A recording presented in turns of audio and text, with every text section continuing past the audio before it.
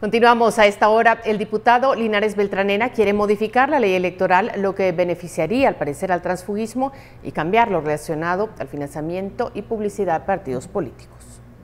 Según el diputado Fernando Linares Beltranena, las reformas a la ley electoral aprobadas en 2016 tienen un problema porque se aprobaron al menos nueve artículos que la Corte de Constitucionalidad no avaló. Beltranena dice que los diputados lo aprobaron sin darse cuenta y ahora propone aprobar otros artículos que ya fueron analizados por la CC. Como ya tienen dictamen de comisión estas nueve, porque vienen de esta comisión electoral, podrían pasar de una vez a primera, segunda y tercera lectura y tercera lectura por artículos en el Pleno.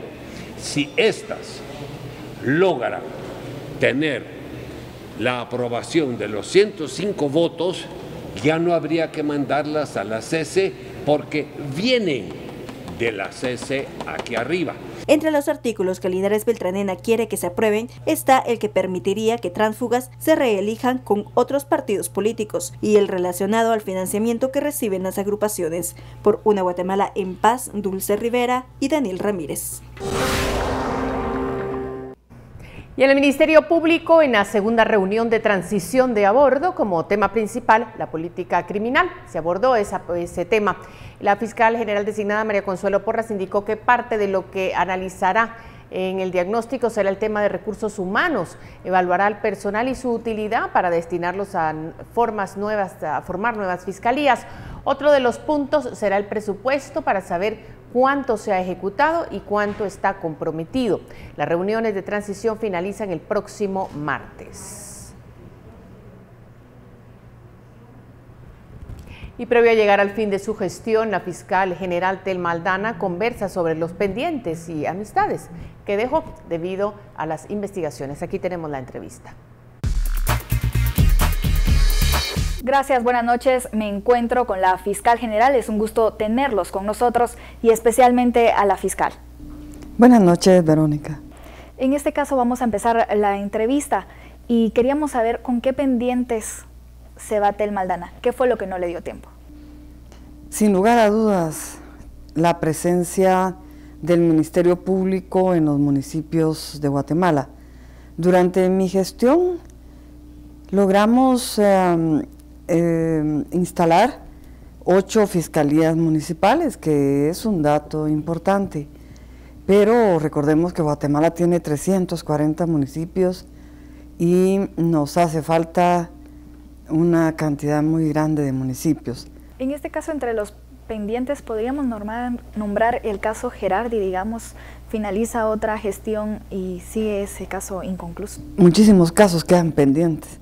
Cada año entra medio millón de casos al Ministerio Público. Muchísimos otros han avanzado. Es imposible que la institución pueda tener cero casos pendientes. El caso Gerardi está avanzado. Hay una agencia especial que está trabajándolo y cuando esté listo, asumo que se llevará ante los órganos jurisdiccionales. Otro de los puntos, ¿hay algo de lo que se arrepienta Tel Maldana? Realmente no, no tengo nada de qué arrepentir. En este caso, eh, regresando un poco al pasado, usted tuvo una amenaza de muerte. Hasta el momento, pues desconocemos un poco de hacia dónde va el curso de la investigación, pero teme que esta amenaza continúe aún en su salida. Siempre hay riesgo, Verónica, porque en este puesto los enemigos llegan solos. Y si hablamos de que hemos desarticulado durante mi periodo 178 estructuras criminales, por supuesto, y hemos abierto muchísimas investigaciones, siempre existe ese riesgo. En este caso, eh, yo sé que lo ha mencionado en diferentes ocasiones, digamos, pero tal vez, ¿cuántas de las personas que hoy están en prisión o están procesadas fueron sus amigas o convivieron en una reunión social y si podría mencionar alguno de los nombres. Recuerdo de Juan de Dios Rodríguez, eh, um, al presidente Otto Pérez Molina, por supuesto. No recuerdo si hay otras personas. Resalto a estas dos de personas. Juan de Dios era mi amigo y, al señor Pérez Molina lo conocí en el año 2012 cuando yo fui presidenta de la Corte y sí lamenté mucho, especialmente en el caso de Juan de Dios, la situación por la que estaba pasando, pero mi obligación tenía que imponerse. Ya finalizando el, el periodo de Tel Maldana, es imposible no pensar que no han llegado las propuestas de trabajo. Eh, ¿De dónde le han surgido ya las propuestas? Especialmente para eh, reincorporarme a la docencia. Pues nuevamente tengo algunas propuestas, igual de alguna consultoría, pero eh, tengo que revisar más adelante y mm, algunas invitaciones para ir a algunos eventos en el extranjero que tienen corta duración. En este caso, ya para finalizar, eh, existe la remota posibilidad de que en algún momento Tel Maldana decida participar en las elecciones próximas a la presidencia. Ese, ese es un asunto que más adelante podría evaluar. Yo soy fiscal general de la República hasta el 17 de mayo cuando entregue el puesto y tengo mucho respeto por esa alta investidura. No puedo participar en política, no puedo estar afiliada a un partido político. A partir del 18 de mayo, obviamente, estaré en toda la libertad y estimo que Guatemala debería de, de ver la oportunidad, los guatemaltecos, de, de tener una plataforma política donde puedan haber personas de pensamiento de derecha, de izquierda, mujeres, indígenas, campesinos, migrantes, y pensar en la inclusión. Necesitamos instituciones políticas incluyentes que le den espacio a las personas que nunca han tenido la oportunidad de hacer gobierno. Muchísimas gracias por este espacio, agradecemos a ustedes también por estar siempre presentes. Tenemos más. El senador Patrick Ligi, vicepresidente del Comité de Asignaciones del Senado, órgano encargado del presupuesto estadounidense, se pronunció luego de la búsqueda por parte de los republicanos que intentan congelar los fondos asignados a CICIG. Ligi señaló que cualquiera que crea en la justicia apoya a la CICIG. La CICIG dice es una institución absolutamente esencial que se ha mostrado capaz de atravesar las capas de corrupción en el sistema de justicia guatemalteco. Además, el senador señaló que el comisionado Iván Velázquez, y lo citamos, es una persona que cuanto más lleva a cabo su mandato, más Aquellos que temen ser procesados tratarán de explotar las formas de detenerlo.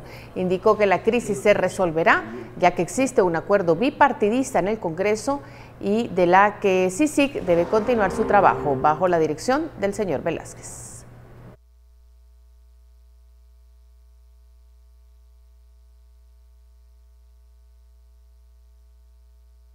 Bueno, y vamos a otros temas porque luego de alcanzar acuerdos en una mesa de diálogo se restablecerá el derecho a la educación. Los maestros se comprometieron a abandonar la plaza, el Mineduc y las direcciones departamentales tomadas como medida de presión para que se cumpla el pacto colectivo. Los representantes del STEC se comprometen a a retirarse a partir de hoy de la Plaza de la Constitución y de las instalaciones de la sede central del Ministerio de Educación. B. A entregar las direcciones departamentales del Ministerio de Educación a partir del lunes 14 de mayo del presente año, día en el que también los maestros regresarán a sus labores.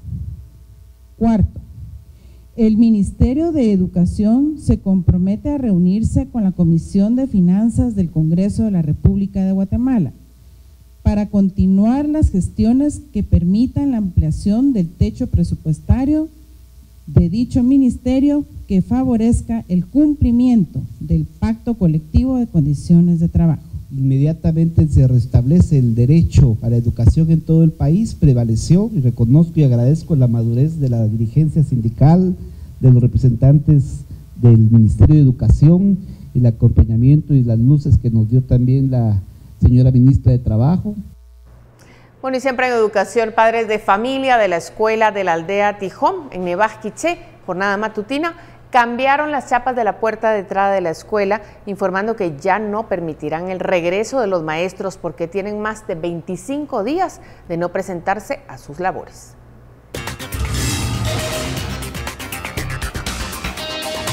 Los padres de familia contrataron a un herrero y quitaron la chapa de la puerta, colocando un candado molestos porque dicen que sus hijos perdieron más de 25 días de clases.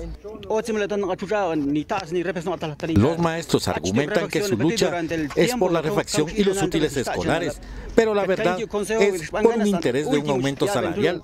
Por esta razón, tomamos la medida para que cuando los docentes regresen, expliquen a los padres de familia en verdad, ¿cuál es su lucha? Molestos, los padres dijeron que mientras los maestros se divierten, sus hijos pierden clases.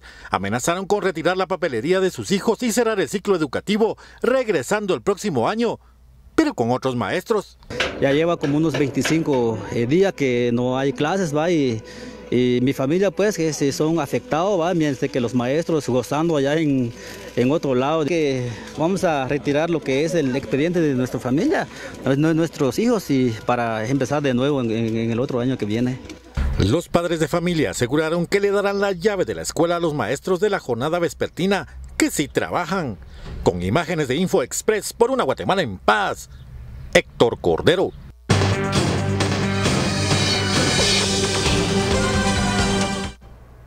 En el deporte, los rojos del municipal hicieron oficial a su tercer refuerzo para el torneo Apertura, volante ofensivo guatemalteco. Pedro Samayoa deja las filas del Deportivo Pitapa para retornar a Municipal donde ya estuvo en dos épocas diferentes. Samayoa se formó en las inferiores rojas, asimismo jugó en dos épocas diferentes en total siete torneos cortos. Fue campeón Apertura 2009-2011, además de Clausura 2010. Ha jugado en MIS con la primera división, Shela, Biclán, Universidad y Petapa, respectivamente. Con los loros disputó 82 partidos, 6.414 minutos y anotó en 5 oportunidades. Y con la victoria de Hood 2 a 0 ante el campeón Antigua, finalizaron los juegos de ida de la serie de acceso a semifinales del torneo Clausura. Tres minutos le bastaron a los superchivos para liquidar el partido frente al campeón Antigua. Mario Castellanos abrió el marcador al minuto 14, luego de una jugada colectiva entre Macal y Jorge Ortiz. Posteriormente, el mismo Jorge Ortiz se encargó de poner cifras de 2 a 0 al minuto 17, resultado que prevaleció hasta el final del partido. La llave se define el domingo en Antigua, donde el campeón necesita ganar como mínimo por idéntico marcador, pero no debe recibir anotaciones. Caso contrario, el favorecido sería el equipo altense por el gol de visitante. Y este fin de semana se conocerán a los últimos equipos que disputarán las semifinales del torneo Apertura y donde Xelajú es el único equipo que llega con alguna ventaja en su serie. Guastatoya frente a Siquinalá es la primera serie que se define este sábado a partir de las 4 de la tarde en el estadio David Cordón Hichos. Ambos empataron a un gol en el juego de ida disputado el miércoles en la costa sur con anotaciones del colombiano José Corena y posteriormente Oscar Martínez de cabeza para poner cifras definitivas en el juego. El equipo Pecho Mario con un empate sin goles o bien a uno avanza. Arriba de dos le daría el boleto al equipo visitante.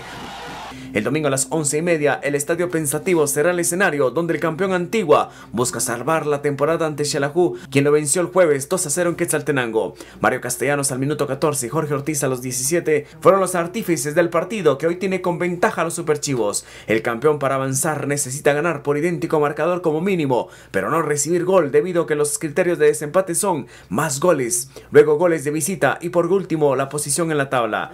De avanzar Guastatoya automáticamente es el rival de Cobán Imperial en las semifinales. Caso contrario, si avanzara Siquinalá, la semifinal automáticamente sería ante Sanarate y Cobán deberá esperar al ganador de la llave en el pensativo. Por una Guatemala en paz, noticiero Guatevisión, Luis López.